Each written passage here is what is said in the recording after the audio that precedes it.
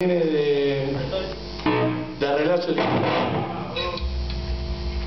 Vamos con una canción que se llama Ahora y Siempre.